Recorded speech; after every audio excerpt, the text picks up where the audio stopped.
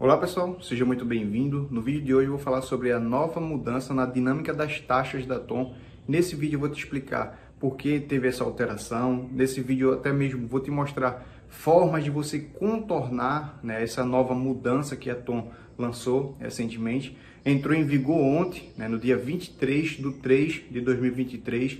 Vou mostrar para vocês né, o que é que muda. Vou falar também nesse vídeo sobre os planos da Tom. A Tom trabalha com quatro planos, vou explicar cada um deles. Vou explicar quais são os planos que foram alterados tá? em relação a essas dinâmicas de taxa. Não que foi alterado o valor da taxa, mas foi alterado alguns requisitos. Né? Você tem agora um valor mínimo que você tem que fazer de faturamento por mês para que você se mantenha nessa taxa então eu vou explicar tudo isso nesse vídeo. Eu peço que você assista esse vídeo até o final. E só lembrando, caso você tenha interesse em estar adquirindo alguma dessas maquininhas que eu vier falar nesse vídeo de hoje para vocês, eu vou estar deixando aqui embaixo na descrição com 10% de desconto para vocês. Então, vamos para a tela do meu computador para que eu possa estar mostrando para vocês passo a passo e com mais detalhe para você entender tudo sobre essa nova mudança nas taxas da Tom. Então, vamos para o vídeo de hoje. Bom pessoal, agora que estamos aqui na tela do meu computador, vou estar explicando aqui para vocês como é que vai funcionar essa nova dinâmica de taxa. Vou estar vindo aqui embaixo aqui, para estar mostrando para vocês e explicando da melhor forma. Antes de estar explicando, eu vou dar um contexto aqui, né, para vocês ficarem por dentro dessa nova mudança. Por que aconteceu essas mudanças na Tom? Na verdade, não só a Tom está né, tá com essa nova mudança na questão da dinâmica das taxas, outras empresas também relacionada a maquininhas também já tem essa questão de um valor, né, uma, de uma meta para você é, bater, para você se manter ali. Então, foi verificado, né? Porque a Tom, querendo ou não, né? Quando você adquire uma maquininha, você tem diversos benefícios. Na Tom você, você tem garantia vitalícia, você tem frete grátis para todo o Brasil, você tem plano de dados. Isso, embora não tenha custo para você, mas tem custo para a Tom. E algumas pessoas né, adquirem a maquininha, muitas vezes é, não consegue bater uma meta ali de faturamento de mil reais, dois mil, três mil. Então, querendo ou não, né, algumas pessoas, é, por não bater essa meta, acaba que você sabe, a empresa é, ela vive do lucro, ela vive de quanto ela vende. Né? Nenhuma empresa vive sem vender. Então, quanto mais as pessoas vendem, uma porcentagemzinha fica ali com a Tom e automaticamente é o que faz a empresa ficar no mercado, é isso, né? A questão de quanto mais pessoas vendendo, mais a empresa vai crescendo, vai se consolidando. A Tom já está no mercado já faz um bom tempo, a empresa que realmente tem um nome no mercado a zelar, é do grupo Stone, né, a Tom. Então, realmente vale muito a pena a Tom.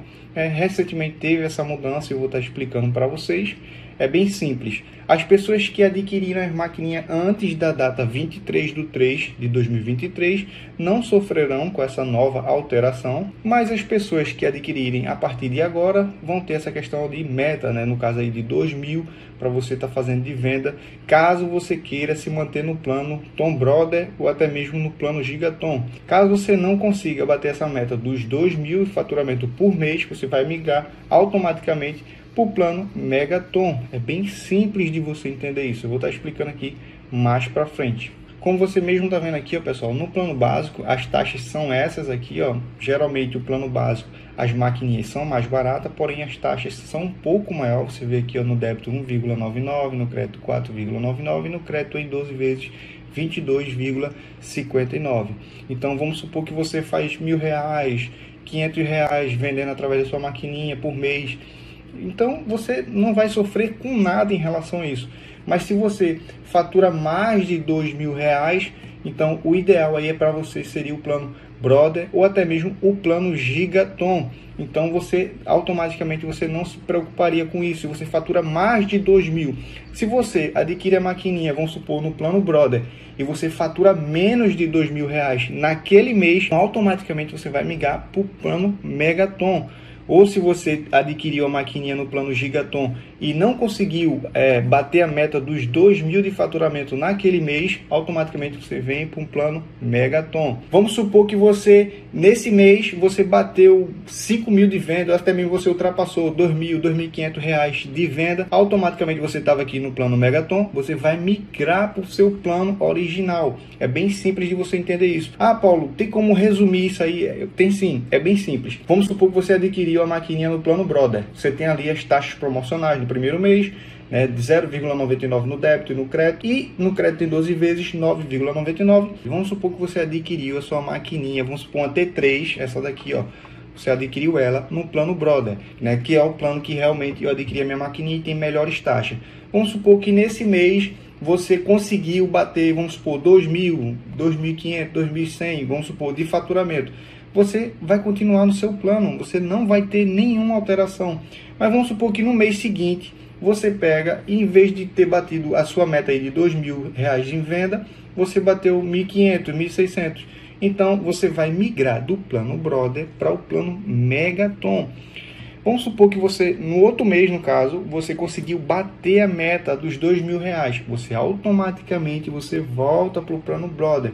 E assim, consequentemente, se você acontece isso também aqui no plano Gigaton. Ah, não consegui atingir a meta no plano Gigaton. Vai migrar para o plano Megaton. E assim, consequentemente, conseguiu bater a meta, volta para o plano original. É bem simples de você entender isso. Vou estar mostrando aqui para vocês agora relacionado às maquininhas da Tom. Essa daqui é a maquininha mais simples, né, que precisa de celular para fazer venda. Essa daqui é T1, inclusive eu também tenho ela aqui para estar mostrando para vocês. Tem um chip Brother, é uma maquininha que tem chip de dados. Essa daqui, a T2, né, ela tem uma bateria melhor, né, que dura mais de 12 horas.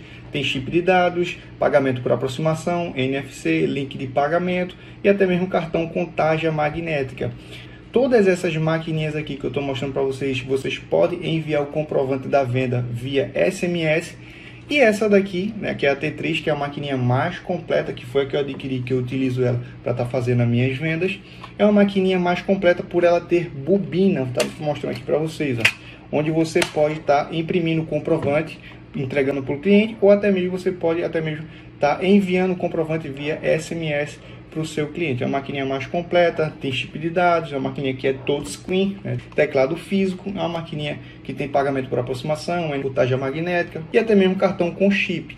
Então, super recomendo essa maquininha aqui para vocês. Vou estar tá mostrando aqui agora, pessoal, para vocês aqui como é que você pode estar tá contornando essa nova mudança da tona, das dinâmicas da taxa através do seu aplicativo, onde você pode estar tá repassando essas taxas para o cliente da melhor forma possível. Então, eu vou estar mostrando para vocês na tela do meu celular para que vocês possam ficar por dentro de tudo e não sair perdendo aí nas suas vendas. Então, vamos para a tela do meu celular. Bom, pessoal, só um avisozinho aqui rapidinho para vocês aqui. Na hora que eu estava gravando o vídeo, acabei esquecendo de mostrar para vocês. Eu vou deixar aqui uma tabela aqui para vocês verem em relação aos valores das taxas relacionadas ao plano Brother para vocês ficarem por dentro de tudo. Em seguida, eu vou mostrar para vocês aí como você pode contornar aí para você não estar tá saindo perdendo na hora de você estar tá fazendo venda. Eu vou mostrar vocês na tela do meu celular. Você vê aqui, ó, pessoal, o aplicativo da Tom, você tem questão de Pix, transferir dinheiro, onde você pode cadastrar sua conta. Assim que você realiza a venda, você transfere o dinheiro para sua conta. Você tem link de pagamento, onde você pode estar tá realizando venda, até mesmo pelas redes sociais, compartilhando com seus clientes, até mesmo pelo WhatsApp, entre outras redes sociais. Você tem aqui a recarga de celular, transferir dinheiro, pagar conta, entre outros. Tem aqui shop, depositar, etc. Você vem aqui, ó, pessoal, em calcular taxas.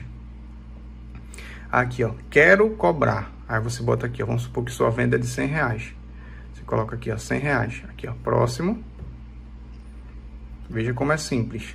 Aí aqui, ó, quero cobrar. Aí, no caso, cobrei 100 reais, vou receber 99, tá certo? Que eu posso alterar a questão de parcelamento. Vamos supor que eu queira parcelar em quatro vezes. Aí aqui, ó, em vez de receber aquele valor que era antes, eu vou receber esse valor aqui, ó, 96,01. Caso eu queira receber os 100 reais da venda, eu venho aqui, ó, quero receber. E automaticamente ele vem aqui, ó, eu quero, eu vou receber aqui, ó, você recebe 100 e eu vou ter que cobrar 101 reais. Aí, como eu quero, essa aqui está em uma vez, eu vou alterar aqui o parcelamento. Vou botar aqui que é em quatro vezes.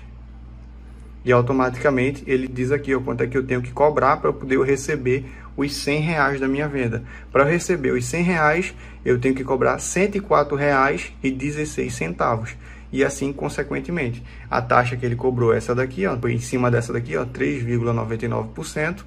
Caso eu queira alterar aqui o parcelamento, eu vou botar aqui, vamos dar aqui um exemplo, cinco vezes aqui, ó, eu iria cobrar 105 reais, iria receber os 100 e assim consequentemente. É uma forma aí, pessoal, de você repassar essa taxa para o cliente. Né? Então, se você vai adquirir, é, vou até resumir aqui para vocês para ficar de uma forma bem simples, clara e objetiva. Vamos supor que você é, faz menos de dois mil reais no mês de venda na sua maquininha. Você pode ir para o plano Megaton, né, que você não vai sofrer nenhuma alteração em relação a migrar para outra taxa. Caso você vende mais de dois mil reais por mês, três mil, cinco mil, etc., você pode ir para o plano Brother, que foi o que eu adquiri minha maquininha e realmente tem as melhores taxas taxas do mercado. Ah, Paulo, é, eu não quero o plano Brother, um exemplo. Eu quero ir para o plano que tem questão de parcelamento. Eu quero ir para o plano Gigaton. Então você vai para o plano Gigaton. Mas é como eu expliquei para vocês. Caso você não bata aquela meta no mês dos 2 mil de faturamento, você vai migrar automaticamente para o plano Megaton. Aí, no caso, no mês subsequente, você atingiu aquela meta ali dos 2 mil, você automaticamente volta para o seu plano original que você comprou a sua maquininha. Então, é bem simples de vocês estar tá entendendo isso. Eu espero que eu tenha te ajudado nesse vídeo. Se surgir alguma dúvida, deixa aqui embaixo nos comentários. Só lembrando que eu vou estar tá deixando aqui as maquininhas com 10% de desconto para vocês Caso você esteja interessado em adquirir sua maquininha, compartilhe esse vídeo com aquela pessoa que tem dúvida em relação a isso e até mesmo com aquela pessoa que está pensando em comprar a maquininha. Eu espero que eu tenha te ajudado. Um grande abraço e eu te vejo no próximo vídeo. Até mais. Tchau, tchau.